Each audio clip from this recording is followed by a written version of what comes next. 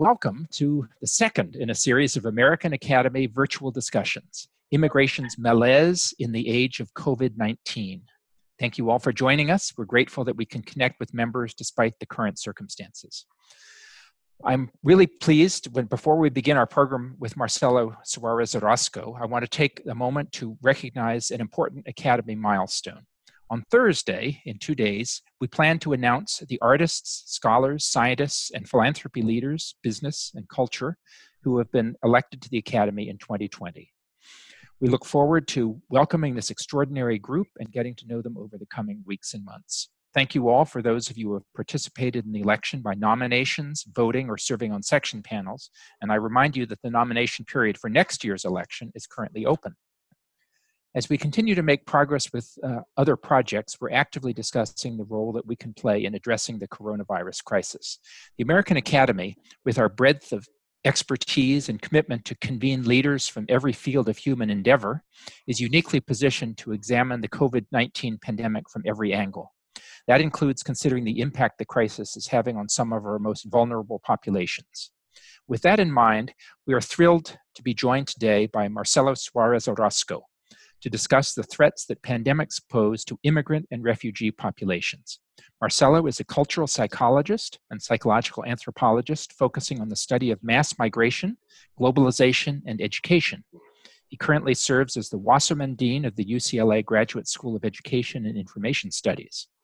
I'm very pleased to note that Marcelo has been named the next chancellor of the University of Massachusetts at Boston. UMass Boston is the most diverse campus in the state's public university system and educates the largest scale uh, share of low income students, many immigrant students, and students who are the first in their family to go to college. Marcelo will be a valuable leader in preparing this demographically diverse group of students for the future. Marcelo has been deeply involved in the Academy since his election in 2014.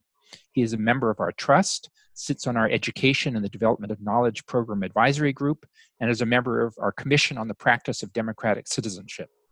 That project will be releasing its final report later this year. It's called Our Common Purpose, and it offers a set of recommendations for building a renewed commitment to democratic citizenship, to American constitutional democracy, and, perhaps most crucially, to one another. I'm excited for all of you to read the report when it's released.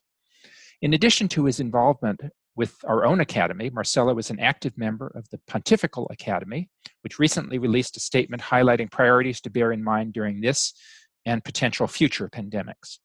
The most resonant of these recommendations echo our own work on democratic citizenship, including calls to protect the poor and vulnerable and to strengthen solidarity and compassion. I know that many of you had the opportunity to read Marcelo's piece, Immigration's Malaise, in the Los Angeles Review of Books. His essay is a powerful reminder of both the centrality of the immigrant experience to American identity and the ways xenophobia is weaponized against immigrants, both during previous pandem- pandemics and in the time of COVID 19. Marcelo will begin with some opening comments before a healthy period of discussion. We look forward to hearing your questions at that time. But first, Marcelo, let me turn things over to you. Thank you. Thank you, David, so much. It is so good to see so many friends and members of the Academy join us for this remote event. I hope and pray you're managing well the sojourn through the COVID 19 Dantesque selva oscura we all find ourselves in these days. I will take a few minutes, no more than a dozen minutes or so in a brief presentation. First, I'll outline some conceptual features of today's migration landscape, review some relevant data, and then turn to the matter of COVID's resurrecting a dormant but ever present virus, xenophobia, and the fear of contamination by the immigrant other. Medicalized nativism is as old as migration itself.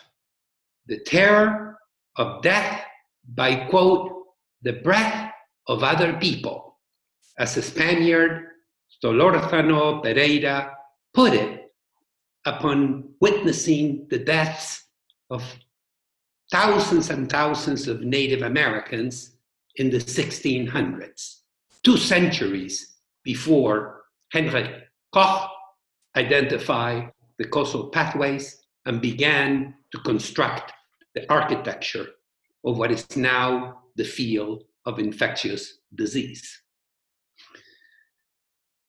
Today, all continents are involved in human migrations, a series of immigration, emigration, transit, and return, and often as all four at once.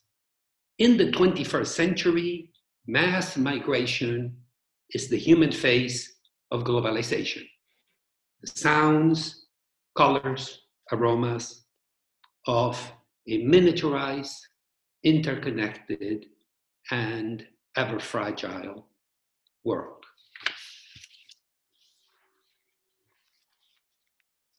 In the modern era, migration is closely bound to globalization.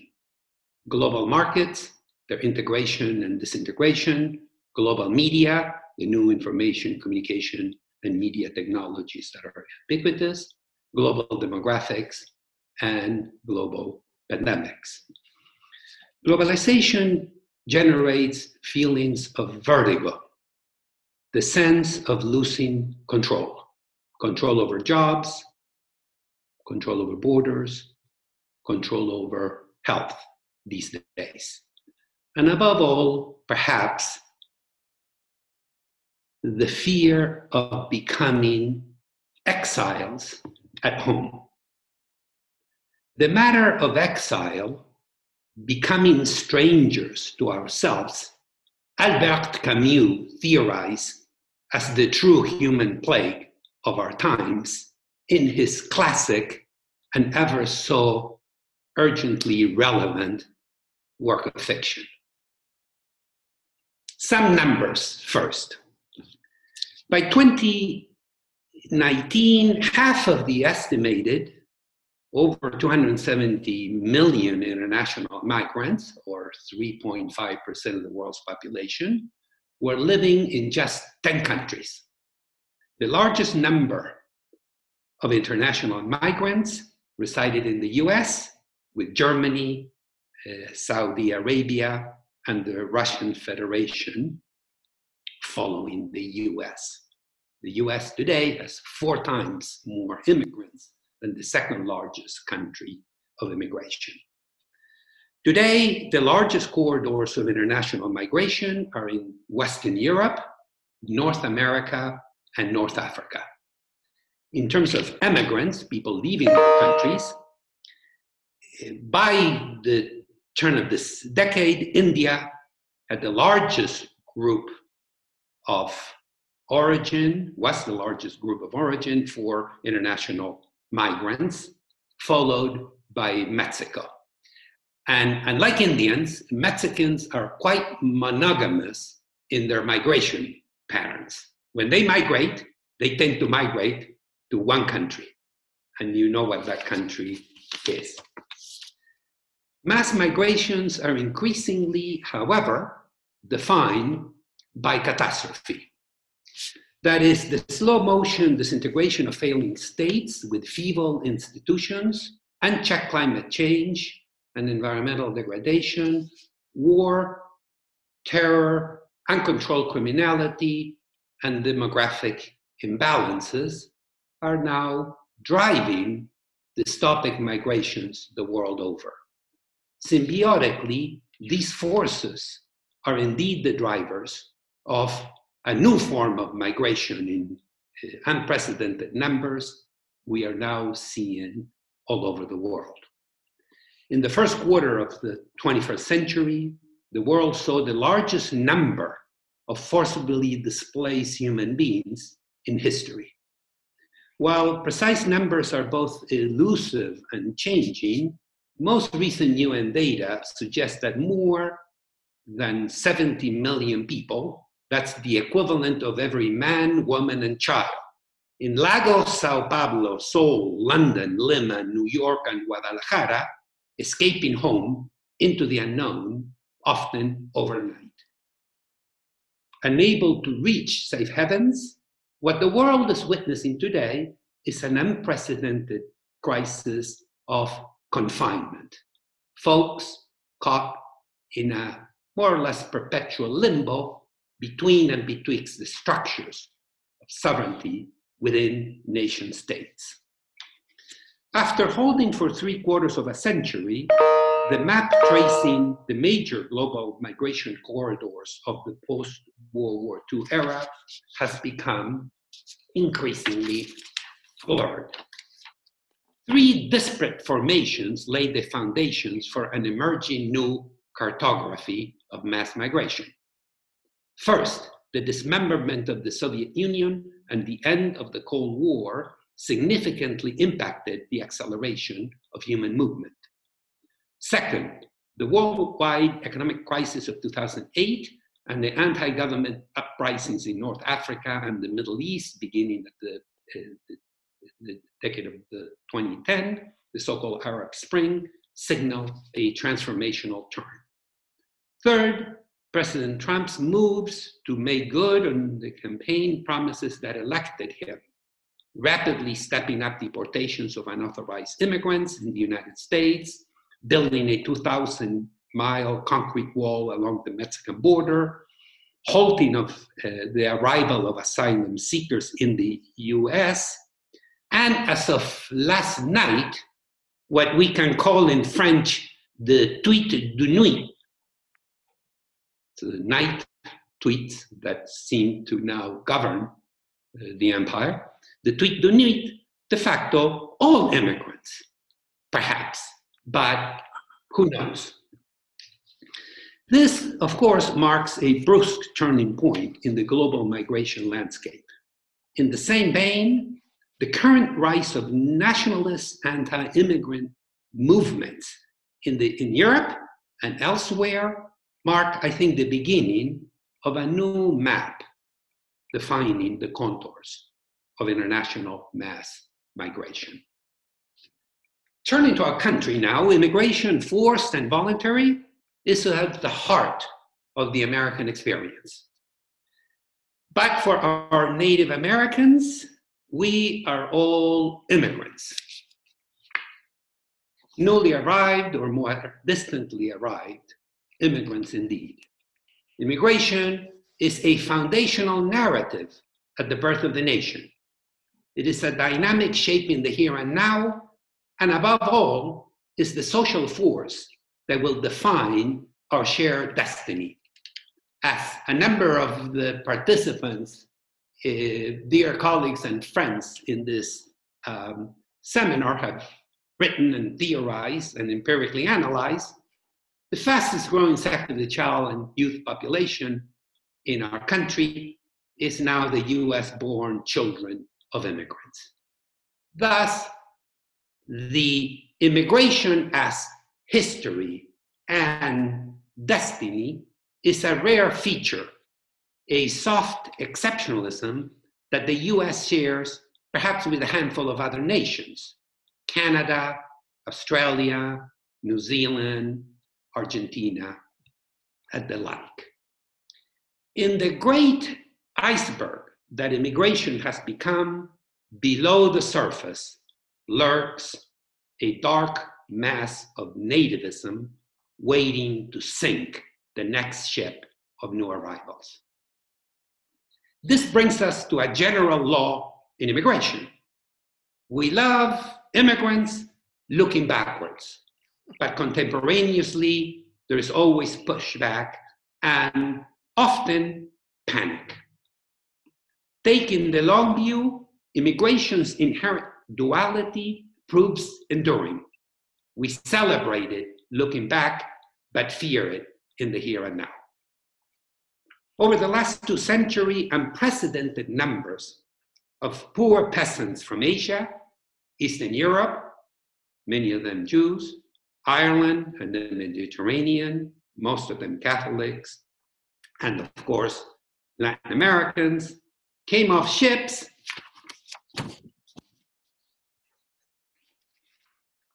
Settling in the Lower East Side of Manhattan, Red Hook, Boston Harbor, and San, Francisco, and elsewhere in the United States. Eventually, their arrival generated pushback. Their religions, their languages, their alleged atavistic criminality, their bodies, alas, the very, their very essence coalesce around the archetype of the immigrant as other, incommensurable and beyond hope of blending or melting down, no matter how much heat the metaphoric melting pot would generate. The bedrock of anti immigrant nativism in the American tradition is found in the enduring association between migrants and contamination, contagion, disease. The other, the uncanny other. Quote, in McCarran's anti-immigration rhetoric against Eastern European Jews, Southern Italians, Asians, and other so-called undesirables were deep-seated metaphors of disease and contagion. As the floor manager of the bill during its initial debate in the Senate in the mid-May 1952, McCarran made an impassioned plea to save the United States from imported ruin. End of quote. The contagion panic is at once literal and metaphoric. Contagion as a medical construct and contagion as a theory of foreigners, foreign. Panic over foreign ideas, foreign practices, foreign folkways. Indeed, globalization and mass migration today are changing fundamentally the way citizens experience national identity and cultural belonging. The unmaking of the Herderian ideal of the, the alignment between das Volk, the blood, language, territory, eh, upsets the symbolic order of the nation, interrupts social practices, reshapes political processes, engenders new cultural identities, and indeed channels new anxieties in long term citizens. Migration and demographic change are, under the best of circumstances, destabilizing and generate disequilibrium. Today, as migrants and asylum seekers manage, refugees manage to settle in new societies, they bring kinship systems, cultural sensibilities, and identities to the foreground. While in enriching countries of immigration, immigrant cultural and social systems at times misalign with and contravene taken for granted cultural and social practices in receiving states. In the age of COVID 19, fear of contamination has come to define how we think about the immigrants among us. Fear is easily weaponized in the service of hate. When our leaders called the uh, COVID 19 pandemic the Chinese virus and predictably used emergency and other powers to build new walls, shut down borders, temporary, temporarily end all migration.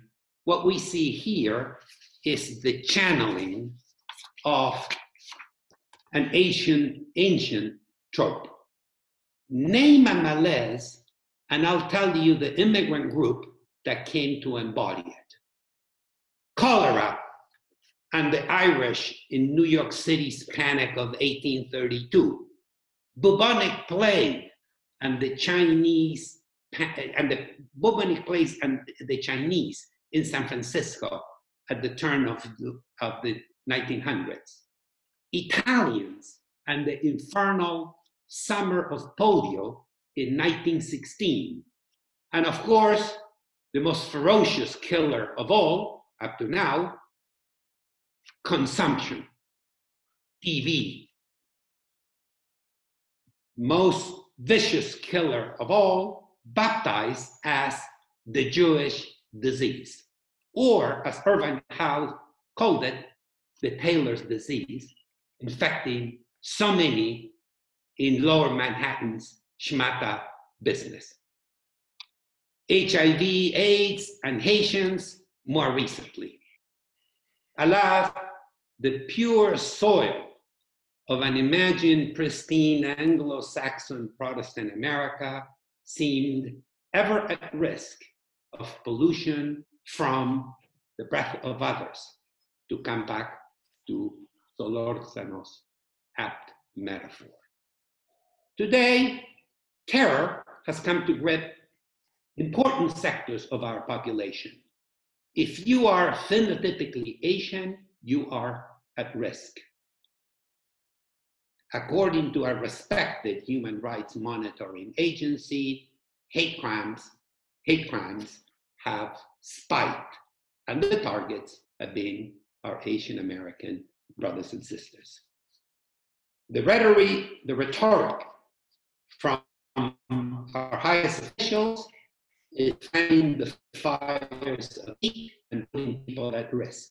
There has been an increase in reports and hits eh, in both in vivo as well as communities to move beyond the current fear and malaise. In the long term, advanced post-industrial democracies undergoing significant demographic change must retrain the hearts and minds, especially of younger citizens, for democracy in the context of demographic change and what our colleague in Poland, Maurice Ruhl, calls super diversity. We need to convert the dread of the unfamiliar other into a sense of solidarity, fraternity, and a democratizing desire for cultural difference. We must endeavor to cultivate the humanistic ideal in the eternal words of the great French philosopher Paul Ricoeur, finding oneself in another, in the refugee, in the asylum seeker, in the immigrant. Thank you. Thank you, Marcelo. We now will move to the Q&A period. And a reminder, if you have a question, you can click the participant button and select raise hand. Uh, or you can also navigate to the chat room by using the bar and uh, to type your uh, question in there. And of course, remember to unmute yourself before speaking and make your questions brief. So uh, let me uh, actually ask a quick question first, Marcelo. Um, what about the people who uh, have grown up in this country, um, who um, are fluent speakers of English, for example? Uh, I'm, I'm, thinking about undocumented DACA, uh, people like that in that in that group. Um, obviously, they haven't immigrated recently from another country. They've grown up in this country. Uh, clearly, they're very much vulnerable at this point in time as well. Yeah, thank you so much. Um, approximately 700,000 youngsters who were brought to this country uh, as infants uh, were protected uh, under the previous administration. It's actually written by my current boss, the president of the University of California, Janet Napolitano uh, by DACA. It's likely that Thursday the Supreme Court uh, will issue its um, its finding on the matter of the Trump administration's request for a repeal of. Uh, uh, what's to me um, unfortunate. Many things are unfortunate, but this is shooting yourself in the foot in the middle of a marathon. We're fighting a marathon against this most vicious killer it is estimated that there are more DACA recipients working in the front lines of the COVID disaster than there are nurses in all of Australia. Meaning, uh, these young folk, um, our data, the data of others, we did the, national, national representative study of the DACA protected youth and colleges in our country. Uh, we found what, what, what the youngsters told us at the time was um, a clamor, a longing to entering the, the helping professions. And now, what the data tell us uh, is exactly they did what they said they were going to, to do. They went into the helping professions. Uh, it is estimated that over 200,000 DACA protected um, uh, folk are fighting the, the, the, pandemic. It is estimated that uh, 70,000 are very directly in the front lines as, as nurses, as doctors, as, as first responders. Uh, uh, so, um, very, very unfortunate indeed. Uh, uh, whether it is um, the ethic of the, whether it's the logic of the market, we invested in educating uh, these young folk, uh, and now they're giving back, or whether it's a, a fundamental um, um, ethic of, of rights as members of our shared community, uh, abandoning the protections of these young folk um, is really uh, uh, uh, catastrophic and fundamentally goes against the, the pragmatism that is at the center of how most Americans think about immigration and how most Americans think about the DACA protected folk. Thank you. I see a couple hands raised. Uh, first of all, uh, Sewell Chan, I understand you're from the Los Angeles Times. Is that correct? Hi, thanks so much. I'm. Uh, thank you for letting me uh, uh, join in and listen in, uh, Marcelo. I really appreciate it. These are very, very sobering times and very sobering words. I'm curious about whether you think the nation is heading towards the 1920s, um, a, a period of nativism that will actually result in you know significant exclusion of immigrants as as occurred in the 1920s um, are we seeing a kind of recurrence in terms of public policies and not just in terms of uh, rhetoric and these tropes of disease and uh, and xenophobia yeah so here is fundamental thank you so thank you so much and thank you for joining us uh, here fundamentally really has to do with with what the tweet de nuit really means because we, we we've gotten used to now in a Pavlovian sense, to salivate. But what happens is that the gap between the tweet and the kind of the architecture that needs to be in place to really make the transformational policy is very wide indeed. It is, but it is the case that um, de facto now, if not de jure, most immigration to our country has been massively uh, slowed down. I, I, believe that the number of visas that were issued last year um, it's about a quarter of the number of visas we um, uh, to, to, I'm, I'm, sorry, it's, it's 25% less than the, the, kind of normative, the sort of codified customary number, number of visas that are issued every year. The fact that today, I believe most um, um, consulates in the United States have slowed to a halt the issuance of new visas. So it is, um, while it's very difficult to do a Talmudic exegesis of what the tweet actually means.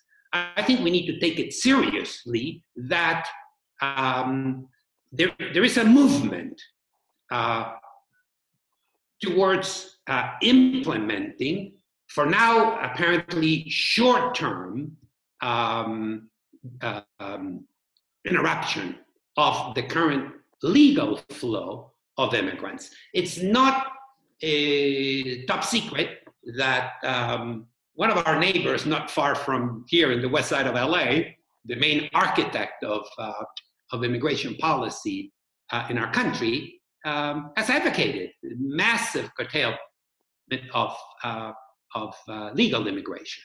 So de facto, uh, nobody at the border really can get in, asylum seekers can't get in, refugees are not getting in, uh, and the, the consulates are, are semi-frozen or fully frozen perhaps uh, now. So very difficult to predict the future, but the, the signs are not especially uh, encouraging. I think we're about to enter a dramatic new cartography of migration.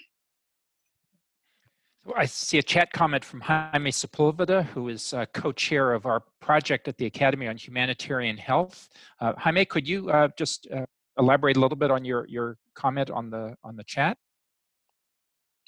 Thank you, David. Um, and uh, I much enjoyed, Marcelo, your presentation.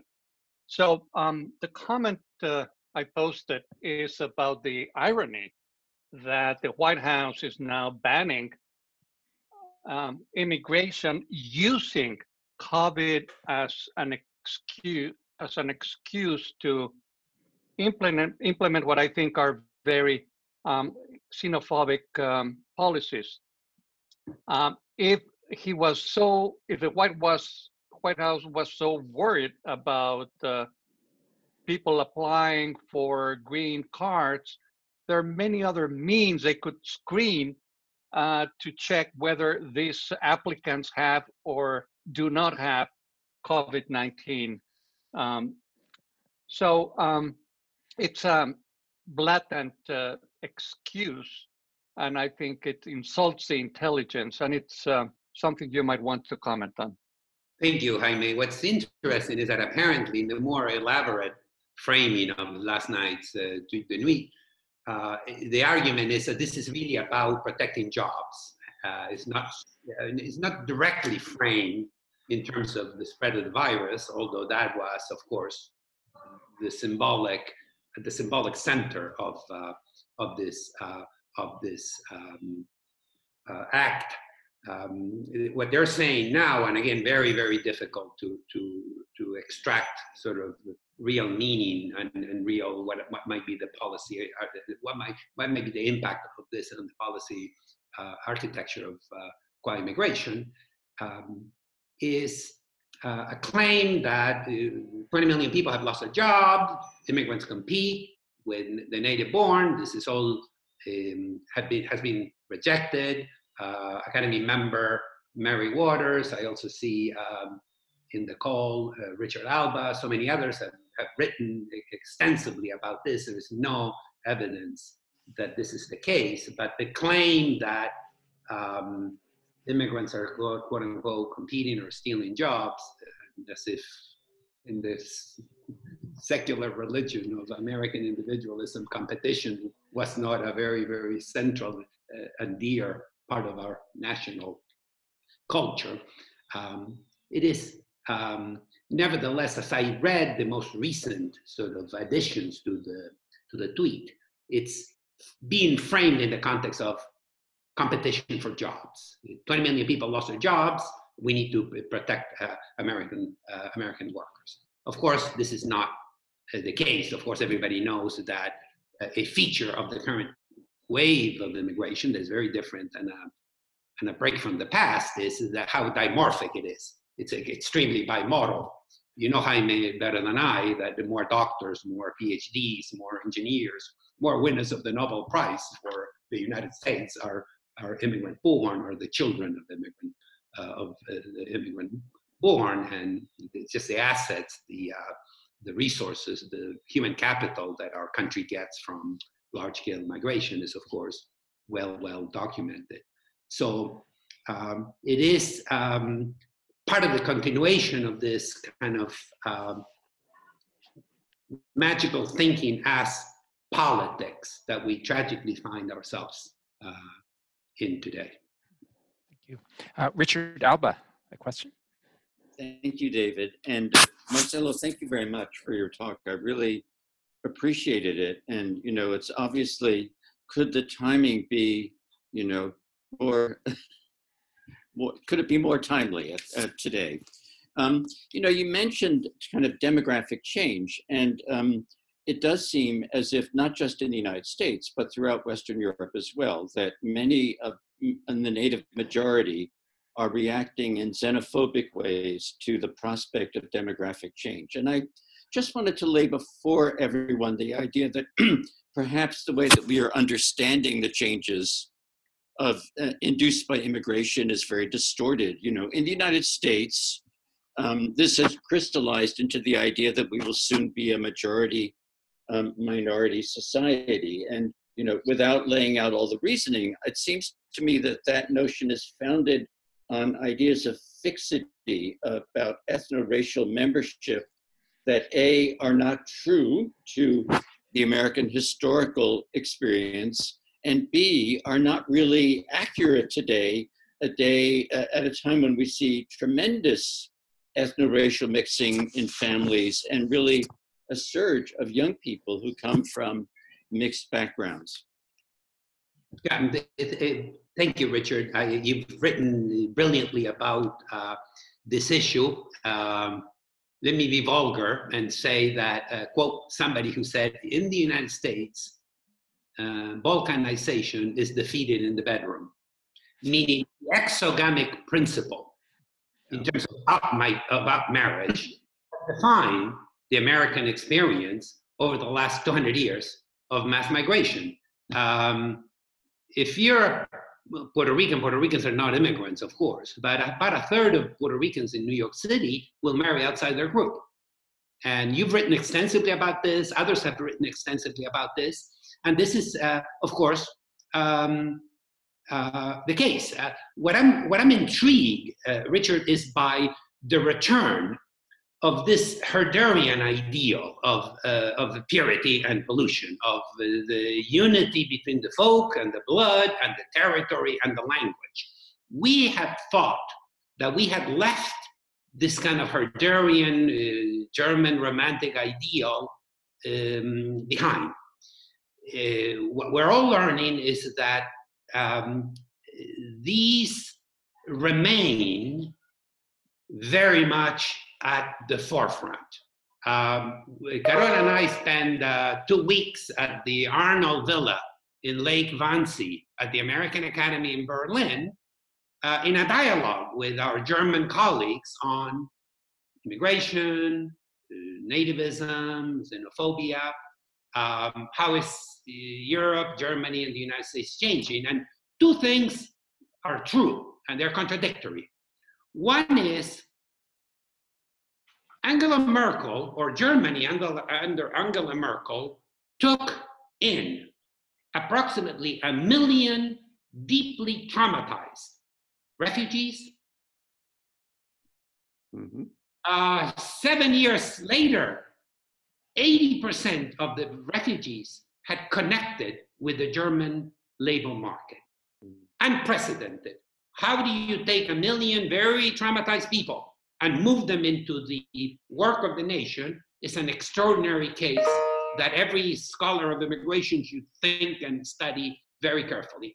At the same time, and here's the contradictory part, um, neo-Nazi um, op- operatic interventions keep on invading the German national imaginary.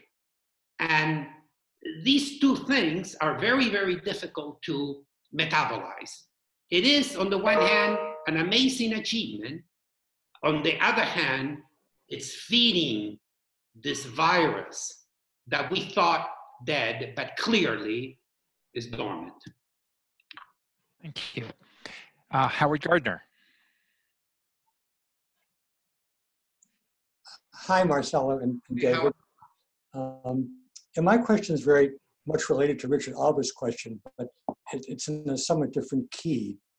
And my, my question is, what are the best models in the world? I was thinking of Scandinavia, though uh, Germany under Merkel is uh, uh, a very apt example of where the Herderian dial has been reduced over some uh, period of time. And I couldn't help thinking about Samuel Huntington, who, on the one hand, wrote about the clash of civilizations, but he also created the notion of the Aspen man or the Aspen person. And I'm not particularly interested in either of those things um, being uh, in the hegemony, but I am interested in where we could find some drier land, uh, either historically or contemporaneously, so that we could we could dial down um, this, uh, this antagonism. Thank you. Thank you, Howard. I have to make a factoid note, which is the, the, the last and the penultimate speaker, Richard and Howard, uh, both were our, are our home in uh, Brooklyn Heights together to celebrate the inauguration of Barack Obama uh, in, in Brooklyn.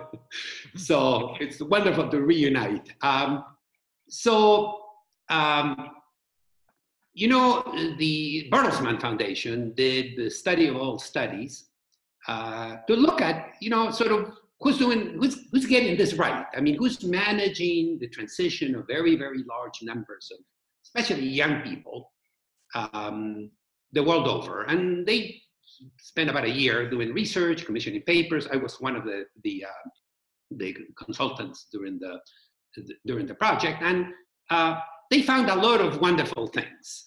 Uh, a lot of wonderful things. Uh, the prize, by the way, the, the Bertelsmann Prize, which is the so-called German Nobel Prize, um, went to. Uh, it was a very fascinating choice. It went to the city of Toronto and the idea was that Toronto had put in place the structures and the strictures and the codified and the customary practices to really manage the transition of very, very large numbers of new arrivals in, uh, in very productive ways. I always add the footnote that it, this was during the, the time when Toronto's mayor was a crack smoking addict so I'm thinking that maybe it is a crack smoking addict that needs to run our immigration policy, and perhaps we will do as, as well as the Canadians have done. So there are samples, there are examples of wonderful practice all over the world. You mentioned, of course, um, Scandinavia. Uh, Carola, I think with Richard actually, was involved in a large scale study, NSF funded, looking at sort of best practices and, and comparing US and European responses. And uh, Carola managed the, the Swedish initiative, spent a, lot of time in Swedish, in which is their, their immigration destination, main immigration destination. Uh, and the Swedes do a lot of wonderful, wonderful uh, things. Uh, New Zealand, uh, Israel, wonderful language programs. And here in our own country, you know, the International Network School in all over the country now, here in LA, in New York. They do marvelous, marvelous work. However, these disparate sites of innovation, uh, Reggio, Reggio Emilia has a wonderful initiative uh, for um, about 40% of the kids now in Reggio come from non-Italian immigrant and refugee origin homes.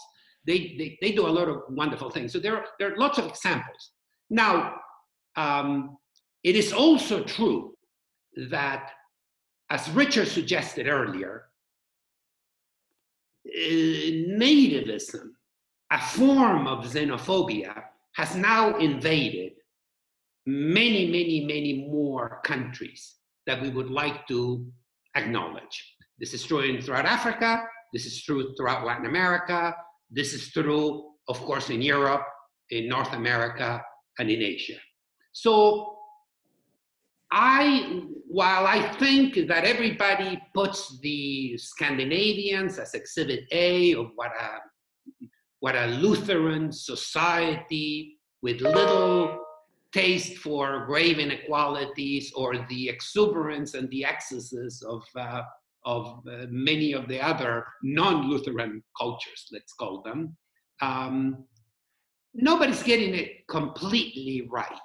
This is the malaise of our times and the biggest challenge to the cosmopolitan, triumphalistic. You, you mentioned um, Huntington. I, I, remember having lunch with Sam Huntington and Jorge Castañeda at the Loeb House, and I almost choked on my salmon when Professor Huntington said the gravest threat to American democracy was Mexican immigration.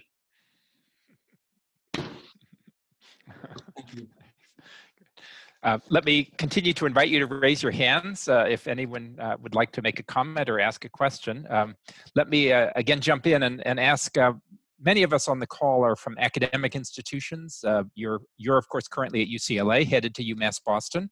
Um, what role can academic institutions, colleges, and universities play in this uh, in this area, helping immigrant refugee communities uh, during this crisis? And what can can those of us who are on the call do within our roles to try to help? First and foremost, David, thank you for that call. Is we need to lower the temperature. We need to lower the temperature. Um, the incendiary rhetoric now is extremely, extremely damaging.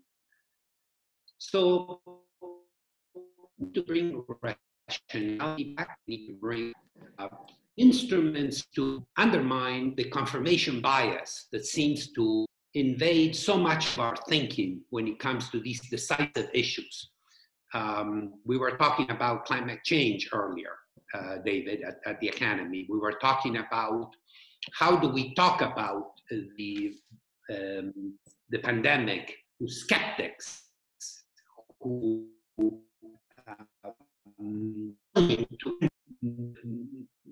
the world of, of, of, of, facts or logic or decision making and for policy work. Uh, we can make policy judgments and decisions, and they can be wrong, they can be right. Only history tends to really uh, tell. But what we shouldn't do is make policy with blind, irrational, um, pre-logic, magical thinking. I think that's the danger to our institutions. I'm very worried about, we have the largest number of DACA protected uh, young people the, in the system, the UCLA has.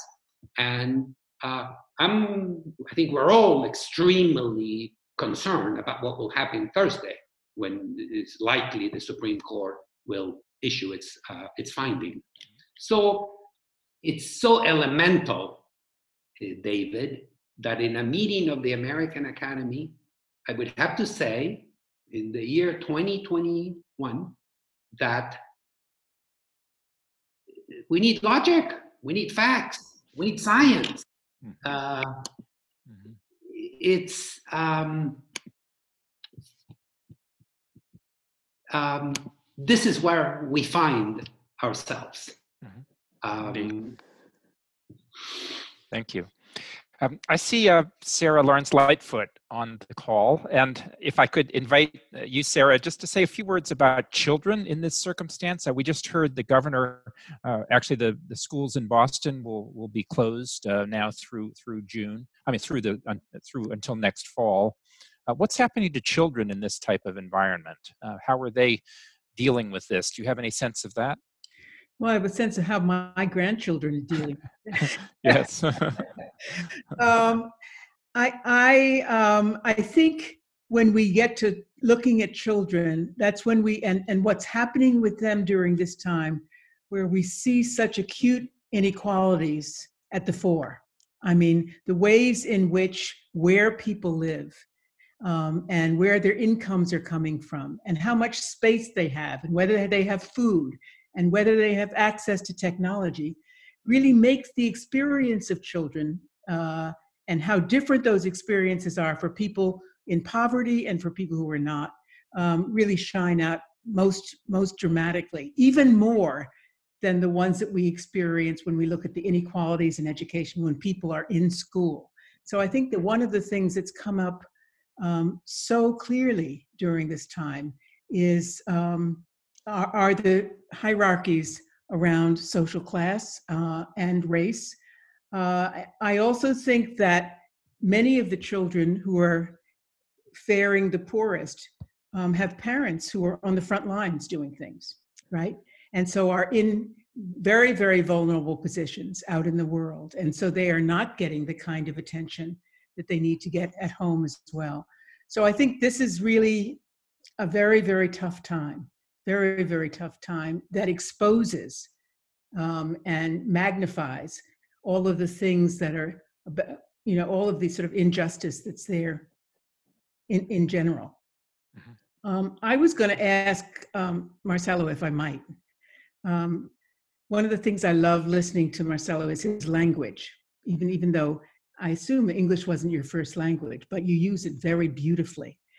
Mm-hmm. Um, and you also make reference a lot to writers uh, who are not social scientists, who are not anthropologists or psychologists, as a way of helping to describe the most subtle and the most, um, I think, um,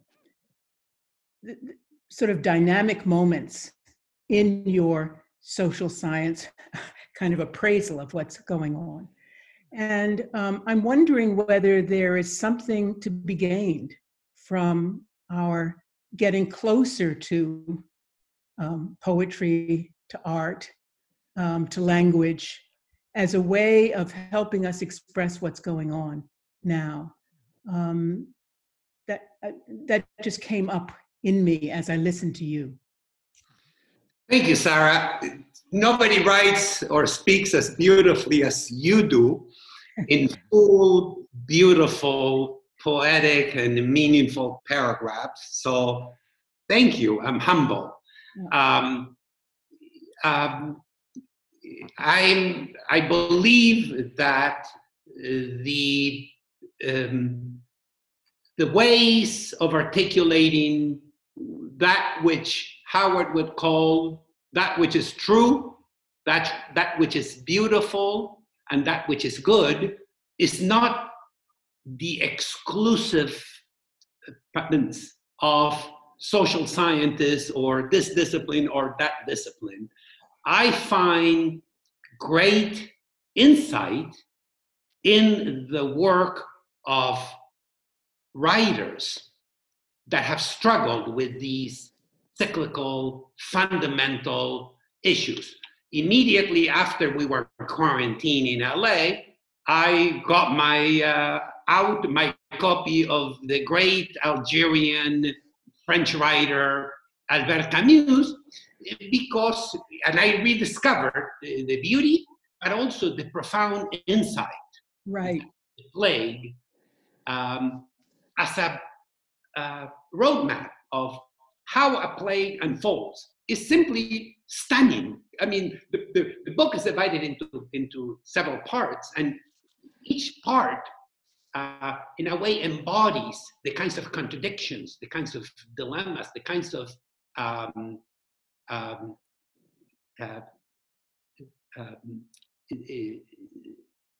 divisions we face in our life of purpose um, in ways that are just eternal and, and, and brilliant. And of course, it is the first verse of the Divine Comedy that tells us uh, we must journey through this selva oscura. And we'll see how we come out mm-hmm. of that. But if I may, using David's um, um, authority, uh, David, I'd love to ask Pat Graham a question about the history. Uh, sure. This. And uh, Pat, I see that you're there. I wonder what your thoughts are uh, in terms of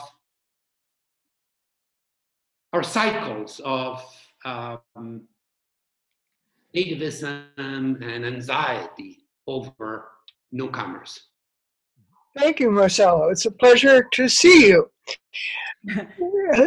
I'm struck by how we thought we had solved the immigrant problem, as we called it in the United States, after World War II. We had taken advantage of a marvelous group of immigrants who had come mostly from Nazi Germany and some from the Soviet Union. And we had welcomed these people, and in the happy years of the uh, 60s, uh, of many revolts, but still vibrant revolts, the 60s and the 70s, we thought this problem was solved. And suddenly, by the 80s and the 90s, we thought we were revisiting the problems we had seen at the beginning of the century. And I am struck by how hard it has been for us to recognize that a problem we thought we had, quote, solved, we had not solved. And yet we are seeing from this new generation of immigrants that uh, the, they are bringing just as many uh, instances of intellectual vitality and social uh, improvement as the predecessors. But it has been harder for us to see this. But as you and your wife Carola have pointed out, the children of immigrants in the United States schools uh, do better than Native American children of, of uh, born in the United States of similar social background. So uh, that is not as widely recognized, I think, certainly by the current administration, uh, as it needs to be. Thank you, Pat, for those uh, reflections. It's interesting, and this was theorized, by the way, um, in, in, in the context of the so-called Jewish disease, Yeah. tuberculosis, that there was a paradox. Jews were poor, but their health outcomes in general were quite good. Yes. became the inkling of what eventually became the healthy immigrant paradox. Although immigrants tend to be poorer, they tend to display lesser levels of cardiovascular disease, the stuff that used to kill us before COVID 19 obesity, circulation, um, high blood pressure, and, and the like. Uh, um, so thank you, thank you, Pat, for that intervention. Good. Well, I- think our time is up. This has been a great discussion. Thank you all for participating, and I'd especially like to thank you, Marcelo, for uh, being willing to uh, talk with us today. It's been a really wonderful dis- discussion. Um, so, I let's see. Is there a, someone wais- waving their hand? No. Okay, I think we're I think we're we're good here. I did want to mention one thing that um, we have the spring 2021 issue of Daedalus coming out in about a year from now. Um, is focused on immigration, nativism, and race in the United States, uh, and that's a volume that's going to be edited by Douglas Massey. So I think it's definitely relevant to the conversation that we've been having.